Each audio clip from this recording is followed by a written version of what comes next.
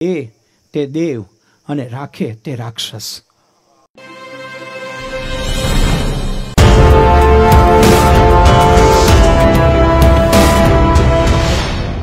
મધરને કોઈ એમ પૂછ્યું, બાપુ, કે ધ્યાનની વ્યાખ્યા શું?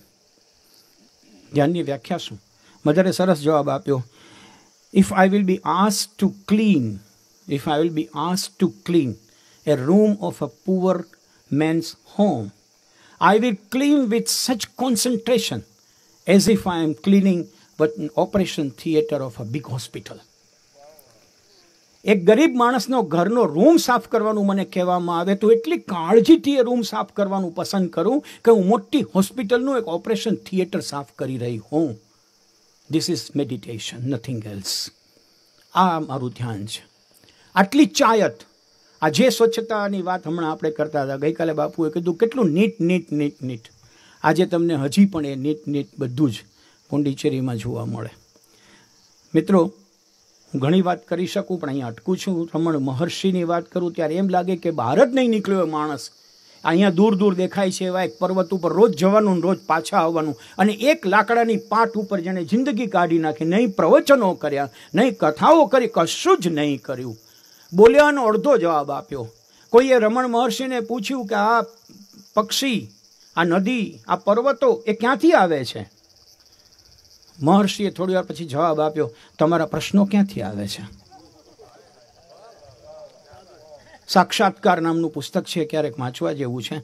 રમણ મહર્ષિ, હું માનું છું કે કદાચ ભારતના ધ મોસ્ટ ઝેન માસ્ટર કહેવા હોય, તો એ મહર્ષિને કહી શકાય. ઘણા બધા ગણાવવા છે, પણ અત્યારે મારી પાસે સમય ઓછો છે. બાપુજીને વારંવાર યાદ કરે છે શ્રી વિનોબાજી. વિનોબાજી, આપને ખ્યાલ છે સૌને કદાચ, કે વિનોબાજી પોતે સંસાર છોડી અને હિમાલય તરફ જવા નીકળી ગયા હતા અને ત્યાં એમણે એક ન્યૂઝપેપરમાં વાંચ્યું કે ગાંધીએ એની બેસન્ટની હાજરીની અંદર એક મોટો બધો ધડાકો કર્યો અને ગાંધીએ એમ કહ્યું કે નહીં નહીં નહીં, આ મારો ભારત દેશ છે, અને જે કાંઈ અહીંયા થશે એ કાં હિન્દીમાં થશે ને કાં માતૃભાષામાં થશે. એની બેસન્ટે એમ કીધું this is international conference you can't insist like that એણે કહ્યું કે you can maintain your stand equally I will have a right I will have a right to maintain my state એ વાંચ્યું અને વિનોબાજીને થયું કે આ કોણ છે? અને એને મળવા માટે ઉપડ્યા. અને વિનોબાજીએ જેને પહેલાં પોતાના સત્યાગ્રહી તરીકે પસંદ કર્યા ગાંધીજીએ જેને પહેલાં સત્યાગ્રહી તરીકે પસંદ કર્યા, એ વિનોબા ભાવે. મિત્રો, અહીંયા હું ચોક્કસ કહેવાનું પસંદ કરું છું. I am very I am very innocent to tell you the fact હું એવું માનું છું કે કોઈ પણ પ્રકારનું પ્રબુદ્ધિ એ જો તમારા બાળપણથી રોપાણી નહીં હોય, જાણે અજાણે કોન્શિયસલી અનકોન્શિયસલી તો એ નર્ચર નહીં થાય. Nature is there waiting for you but to nurture the nature is your responsibility to nurture the nature is your responsibility અને આ વિન આ વિનોબા ભાવ એટલે કોણ કે જેના ઘરની અંદર પાડોશીના ઘરમાં ઉગેલું ફણસનું ઝાડ ડોકું કાઢે ને એમાં મોટું ફણસનું ફળ, એ ફળ જોઈને રોજ બધા બાળકો ચિંતા કરતા હોય કે આ ફળ ખાવા મળે, એની પેશી મોટી મોટી હોય એન્ડ દે આર વેઇટિંગ કે હવે ફળ પાક્યું છે, આજે આવશે. રોજ સવારે ઉઠીને જોવે કે પાક્યું, અને એક દિવસ જોવે તો ફળ ગાયબ. અને જોવે તો ખબર પડે કે પોતાની માં છે, નીચે ફળ લઈને બેઠી છે અને પેશીઓ કાઢે છે. અને બધા બાળકો ગોઠવાઈ જાય ગોઠવાઈ જાય એમ થાય હમણાં મારે પેશી મળશે. અને માં એક વાટકીની અંદર એક પેશી મૂકીને આપે બેટા, આ જા, આ ખરેખર ઝાડ તો પડોશનું છે. પહેલો ભાગ તો એનો પડે, તું દેતો આવે ને પાછો આવે. જા, વિન્યા, જા, દેતો આવ બાજુમાં. વિનોબાજીને કોઈએ ભૂદાન વખતે એવો પ્રશ્ન પૂછ્યો હતો કે, બાપુ, તમને વિનોબા, તમને આ ભૂદાનનો વિચાર આવ્યો ક્યારથી? એમાં એમણે આ વાત કરેલી કે, મારી માએ મને ત્યારે શીખવ્યું કે પહેલાં બાજુનો ભાગ છે. બીજી વાર આવ્યા ત્યારે કીધું, બેટા, જમણી બાજુ દેતો આવ. એણે ભલે એના જોયું એણે ભલે ખાધું નથી, ઉગ્યું નથી, પણ ફળ એણે રોજ જોયું છે. જોયું છે એટલે એનો અધિકાર છે. અને જ્યારે વિનોબાજીએ બા, આ શું છે? અમારો વારો જ નથી લાગતો. એણે કહ્યું, બેટા, યાદ રાખજે, દે, તે દેવ અને રાખે તે રાક્ષસ. વિનોબાજીએ કહ્યું કે ત્યારથી નક્કી કર્યું કે મારી પાસે જે કંઈ એક્સ્ટ્રા છે તે સમાજને અર્પણ કરવું, એમાંથી મને ભૂદાનનો પહેલો વિચાર આવ્યો. મિત્રો, મારા, મારી ભૂમિ, કાઠિયાવાડની ભૂમિથી હું શરૂ કરું, તો તો બહુ મોટી યાદી મળે. મને મનુભાઈ પંચોલી દર્શક મળે, મને જલારામ બાપા મળે, મને રણછોડદાસજી મહારાજ મળે, મને રવિશંકર મહારાજ મળે. એમ કહેવાય છે કે રણછોડદાસજી મહારાજ રણછોડદાસજી મહારાજ, જ્યારે અતિવૃષ્ટિ કે અનાવૃષ્ટિ સમયે રાહત કેમ્પ ચલાવે, ત્યારે મોટા મોટા તપેલાઓની અંદર દાળો ઉકળતી હોય, એ દાળનું તપેલું ઉચકવા માટે કાંઈ ન હોય તો એ પોતે પોતાના બે હાથે ઉંચકે પણ એના દા, એના હાથ કોઈ દી દાજે નહીં. એનું કારણ ક્યાંય પણ સંકટ આવ્યું નથી અને એ પહોંચ્યા નથી. આવો માણસ મેં આપ સૌને એટલા માટે વાત કરી આ કે નાનપણથી જે માએ સંસ્કાર વિનોબાજીને રોપ્યા, એ સંસ્કાર રોપવાની જવાબદારી આપણી છે. આપણા બાળકોનું બાળપણ આપણે સાચવી લેશું, તો એ લોકો આપણું વૃદ્ધત્વ સાચવી લેશે. તો વિનોબા સર્જન થશે, તો ઝેન સર્જન થશે. અચાનક નથી થતું. બાપુ જે ઘરમાં જઈને ઊભા રહ્યા, કે આપણે જે ઘરની શોધ કરીએ છીએ, એ ઘરમાં પહેલેથી એવા વાઇબ્રેશન્સ ચાલતા હોય છે.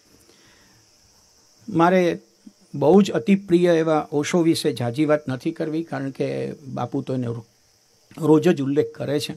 પણ ઓશો મને એમ લાગે છે કે પચાસેક વર્ષ વહેલા જન્મ્યા એટલે આપણને ઓળખતા બહુ વાર લાગી.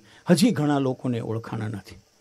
પણ ખરેખરો એમ કહેવાય કે નિજાનંદમાં જીવનારો માણસ, એમને ઈચ્છા થાય કે રોલ્સ રોય ગાડીનો ખડકલો હોવો જોઈએ તો ખડકલો હોય. એમને ઈચ્છા થાય કે મારે કાંડે વિશ્વની મોંઘામાં મોંઘી બે ઘડિયાળ હોવી જોઈએ તો બે ઘડિયાળ હોય. અને એમને ઈચ્છા થાય કે આ ઘડિયાળનું કાંઈ નથી કરવું નાખતો હોય નાખીને ચાલતો પણ થઈ જઈ શકતો હોય. કેવો વિચાર કે જે વિચાર આજે વર્ષો પછી, nineteen ninety one he left the world ત્યારથી આજ સુધી તમે કોઈ પણ જગ્યાએ જાઓ, એટલે ઓશો સિવાયનો કોઈ બીજો ધર્મગુરુ એ જગ્યાએ બેઠેલો તમને જોવા નહીં મળે. કારણ કે પોતાની જાતને ધર્મગુરુ માનતો નહોતો. કારણ એ પોતે જ બધાને રોપ પહેરાવ્યો ને માળા પહેરાવ્યો પછી પોતે જ કીધું, કાલથી બધા રોપ કાઢી નાખજો ને હવે માળાએ કાઢી નાખજો. પોતે પોતાનું નામ પાડે ને પોતે પોતાનું નામ ભૂસી પણ નાખે. કાલથી હું આચાર્ય રજનીશની બદલે ઓશો કહેવાય એમ પેવો કહી દે. અને એમ કે હવે ઓશો પણ કહેવાની જરૂર નથી. એવું પણ એ પોતે જ કહી દે. મને ખ્યાલ છે તમને, સૌને ખ્યાલ છે કે એના આશ્રમ વિશે ઘણી બધી વાતો આવી. અને કોઈએ ફરિયાદ કરતાં કરતાં આવીને કીધું કે ઓશો, આ બધું શું ચાલે છે આશ્રમમાં? શું ચાલે છે આ બધું? ઓશોએ જવાબ કીધું. મારે શું? આવું બધું ચાલતું હોય તો મારે શું? તરત જ પહેલાં કીધું, તમારા આશ્રમમાં ચાલે છે આવું બધું. ઓશોએ જવાબ આપ્યો, તો પછી તમારે શું?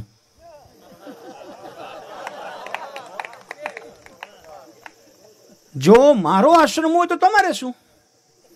તો પછી તમે મારી ઉપર ચિંતા અને જો કોઈકનો આશ્રમ હોય તો મારે શું? આપણે જે કહીએ છીએ ને સહજતા એટલે આ આટલી જ સહજતાથી. અને એટલા માટે મિત્રો હું ખાસ એવું માનું છું કે એવો ચિંતક, એવો વિચારક કે જેના જેના જેના પ્રભાવમાંથી કોઈ દૂર રહી જ ન શકે. એનાથી રહેવું મુશ્કેલ છે. આવી વ્યક્તિ આપણા સૌની વચ્ચે પંખી પાણી પીને છે. ઘટે ન સરિતા નીર. ધર્મ કીએ ધન ના ખૂટે. સહાય કરે રઘુવીર. આ એક નાનકડી પંક્તિ આપી આપણે રણછોડદાસી બાપા. સોમવારે એવું કહેતા, સેવા અને સ્મરણ કરવાના છે બે કામ. સેવા તો જનસેવાને લેવું હરિનું નામ. આ બે પંક્તિની અંદર ઝેન સૂત્ર આવી ગયું છે. એનું વિશ્લેષણ કરવું એ મારી કેપેબિલિટી નથી, એટલે હું કરતો નથી.